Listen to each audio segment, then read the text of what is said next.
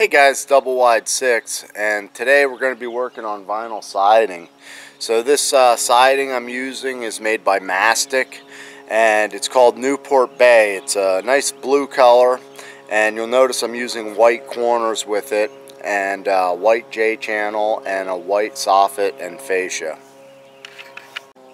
So if you're building a shed and you're creating your own blueprint for what you're doing, one of the things that you want to think about as you're making your plans is uh, what type of siding do you want to use. Okay, there's shakes, there's Dutch lap, there's all kinds of different siding with different uh, lengths and heights. So this is 8 inch siding. It's uh, actually a Dutch lap. And I've calculated and figured out how I would get uh, pretty much a whole sheet. I just cut like a quarter inch off the top of it and boom, it fits right in. So that's something that you can think about when you're calculating um, how to do a shed like this. Now, uh, the corners, a lot of people make them the exact same color as the building, which is fine. Um, however, I wanted to accent the corners a little bit, so I went with white. And up here is an aluminum fascia and a soffit and you'll notice I also have a white J channel up here um, that uh, you know blends in with the building as well. So uh, that's how I did it. So just some things to think about. Now we'll show you how to get started with this. Just a tip to help you protect your building. You can wrap your building with house wrap or you can wrap it with tar paper down at the bottom. And what that'll do is if you don't have gutters that'll help prevent splashback from rotting out your plywood.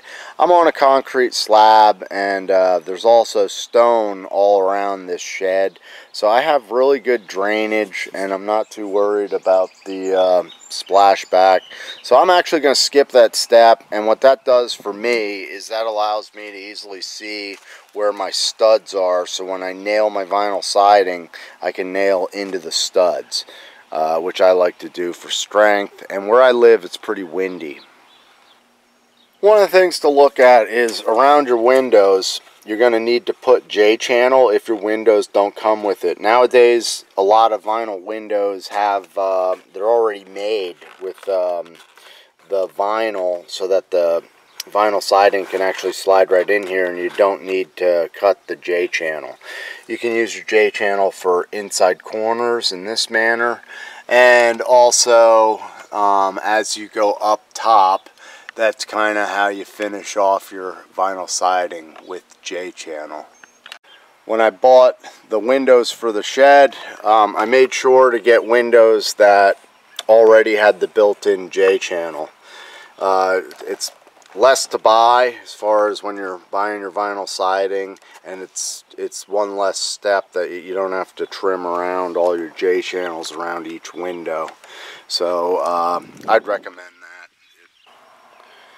here's a piece of J channel a little bit dirty it rained here last night and this window this is what I'm talking about it has the built-in J channel so your your vinyl will slide right in there and we're also going to use J channel to help hold up the soffit. So see how there was a gap there? Once this gets leveled and pushed up there, it looks real nice and neat.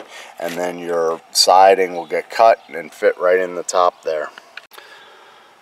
On the outside of the door, we're going to put J-channel there so that the siding can come up to that brick mold. And at the top of the door, hopefully you don't notice this, but I uh, calculated this was uh, two inches across and then up top I think I ended up cutting this at like one and five eighths so that it would be flush and even with the soffit on top of the door so I don't need any J channel up there the first thing I like to do is set my corners and I usually run them an inch longer than they need to be so they'll stick down just a hair uh, below the blue vinyl siding as you can see there. Now you can cut these just uh, by hand. Um, if you're going to cut them by hand, I recommend uh, aviation snips. They work pretty well. The corner has a lot of different bends to it, so uh, it is a bit of a pain to cut. So I'm going to be cutting this with the uh, compound miter saw. And one thing I want to mention is, you know, the vinyl has a tendency to chip. Um, so you want to cut very slow. You want to use a blade that has a lot of teeth on it, like a uh, fine finish blade with carbide. And um, you also want to make sure that you put the side that you cut on the bottom of the building. Um, you don't want up top uh, a rough cut, so we'll keep that down towards the bottom. And, um, you know, some guys cut with their blades backwards. Um, I've really seen no advantage in doing that. I've done that, and, uh, you know, I, I, I, just find keeping the blade and cutting slow just the way it is uh, works fine for me.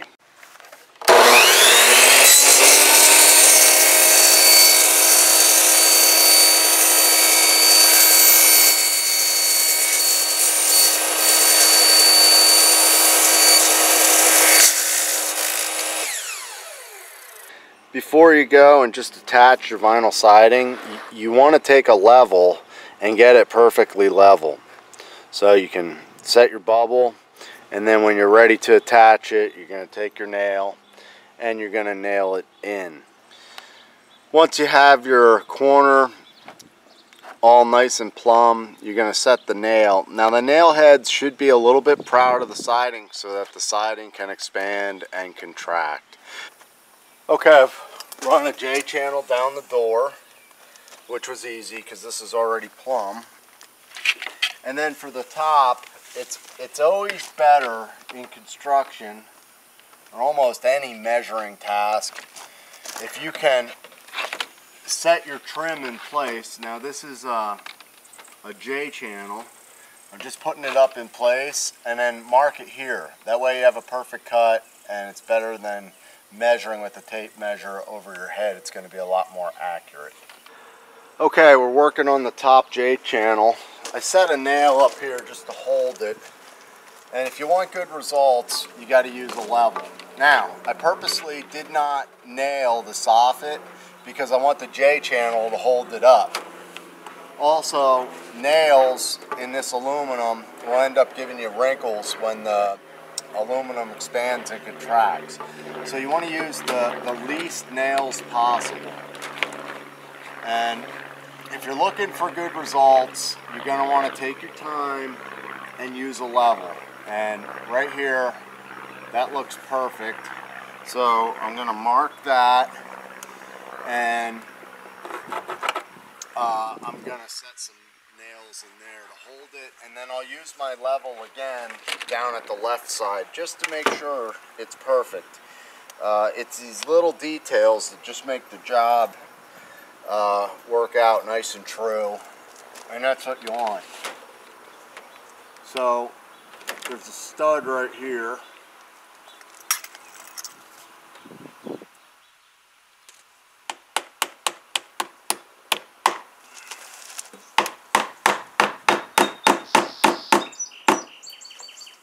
And remember, you don't want to set those nails. I leave a little, like, a little less than an eighth of an inch.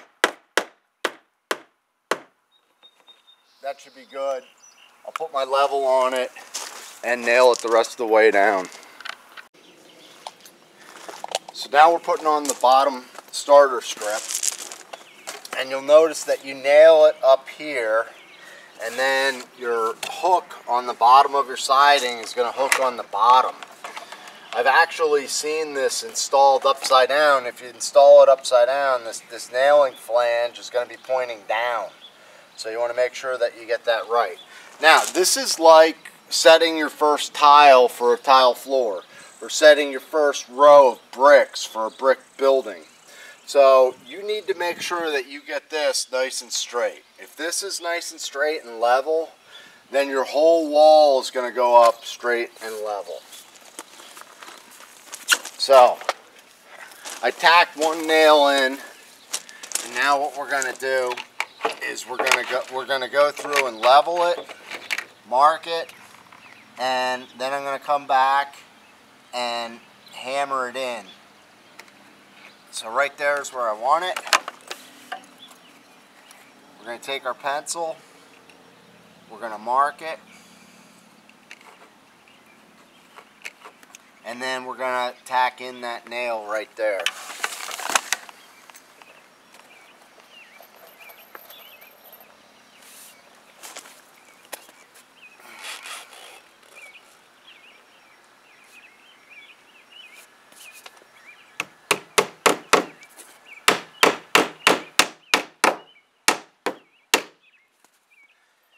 And wherever I have a stud, we're going to tack in more nails. I'm going to check it with my level when I get down to the other side. Okay, we're ready to put up our first panel vinyl. So, I took the long piece and I marked it in place. And I cut it a quarter inch shorter than it actually needs to be.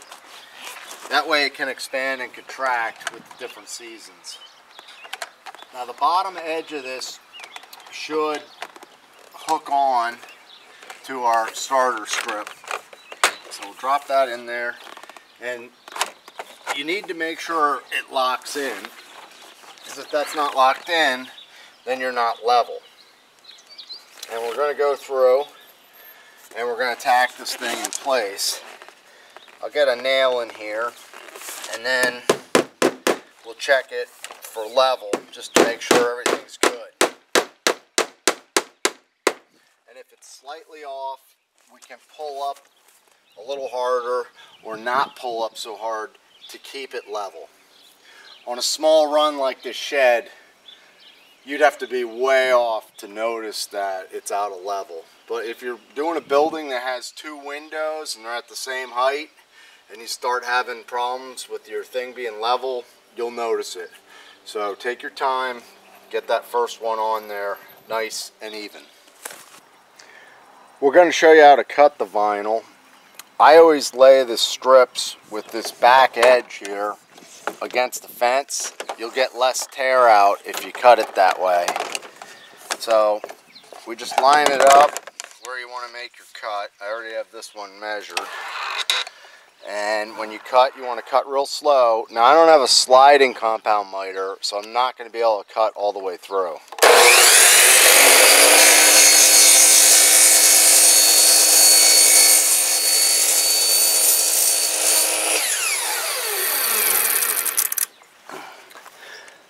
To finish the cut, I just use my aviation snips, eyeball it, and just make a straight cut right up through my line. To put pieces together, you want to lock together two factory edges. And you always keep your nailing flange on the top.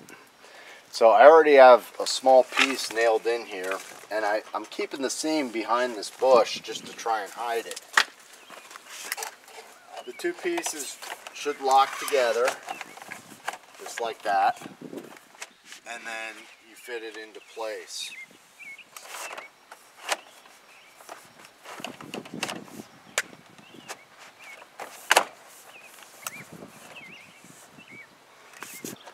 Okay, so now we're at the window and we're to have to cut a notch out of this piece.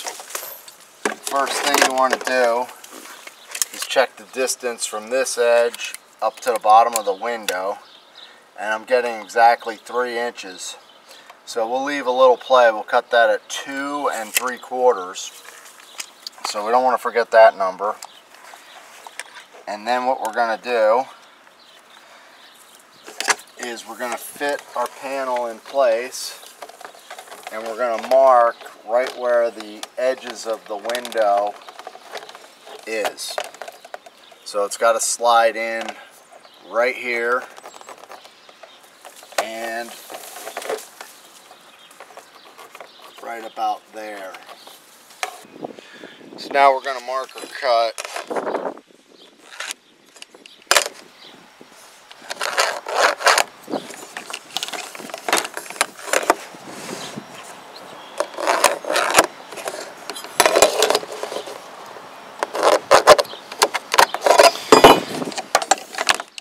And we're going to go up from the bottom two and three quarters. So it's about right here where this uh, fold is.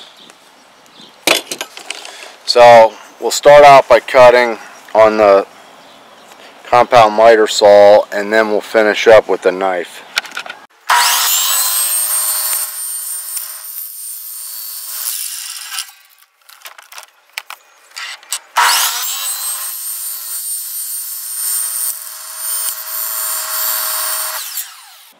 We're going to finish our cut on the back side just with the knife.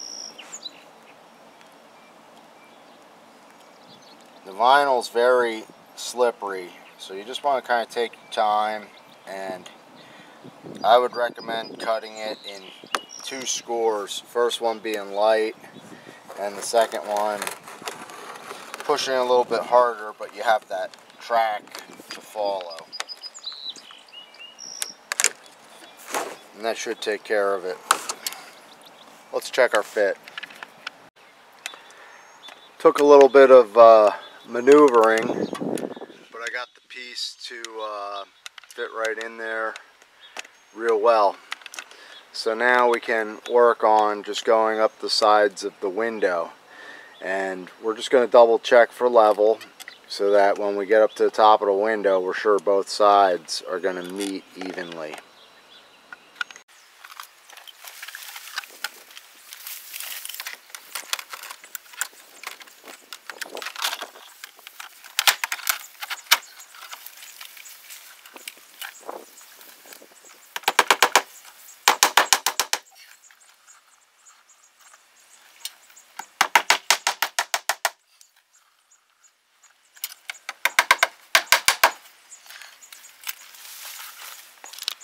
So we're on the last piece. We're going to see how it fits over the window.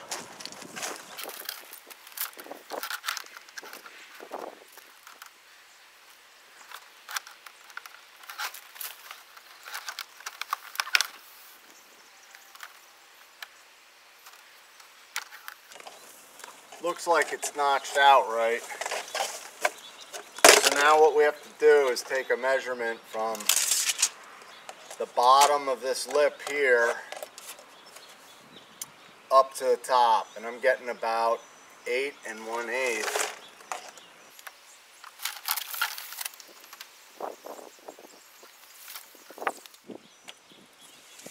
Yeah, so it looks like I'm to be cutting it at 8 and 1 eighth. And it should fit in. I ripped down this piece using my utility knife and the strip that came off we're going to use right now to help secure this panel so it doesn't blow out of the J channel. So we'll just tack this strip in.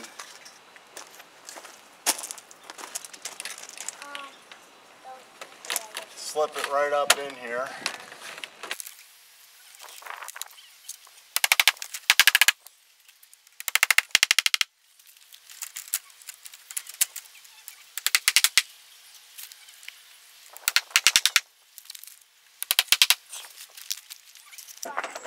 This is the moment of truth. We'll see if this last piece fits.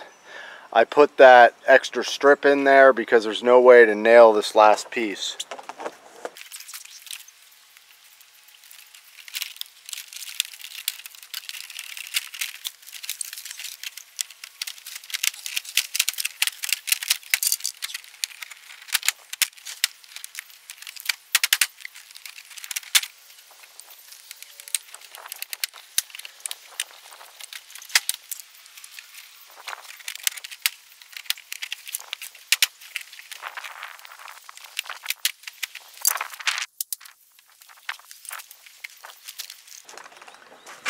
Well, that's it. We got it in there. It's nice and tight.